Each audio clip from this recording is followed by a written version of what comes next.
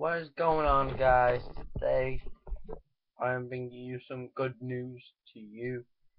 I will be getting my capture card and shit ready to start um, you know, putting up gameplays and crap like that, you know, I wanna try and make it funny and good and hope you hope you lot you lot will like eventually start liking my videos and constantly watch it. So yeah, um, I'm hoping to start Sunday or Saturday for my stuff to come because I ordered it yesterday and hopefully come Saturday, Friday, or Sunday.